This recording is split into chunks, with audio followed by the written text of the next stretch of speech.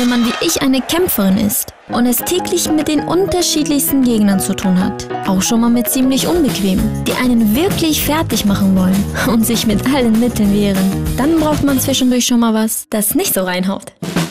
Milchschnitte. Aus guten Zutaten und mit viel frischer Vollmilch gemacht.